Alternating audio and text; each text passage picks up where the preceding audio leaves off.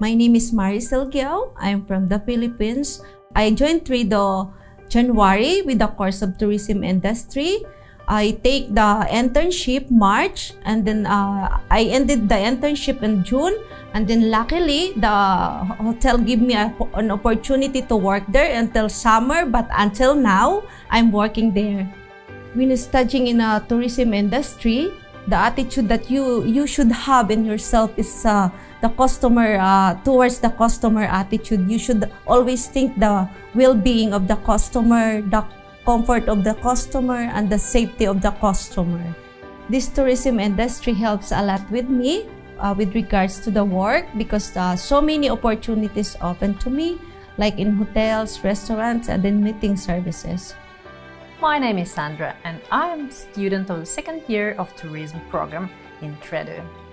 Studies in Tredu are very interesting.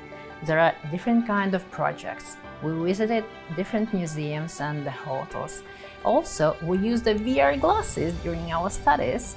And so you can combine of getting knowledge and enjoying your studies. My first internship was in a Marriott hotel, so I was working hard and finally I get a job. Do you like to travel? So there are possibilities to study abroad, so come and study in Tredu.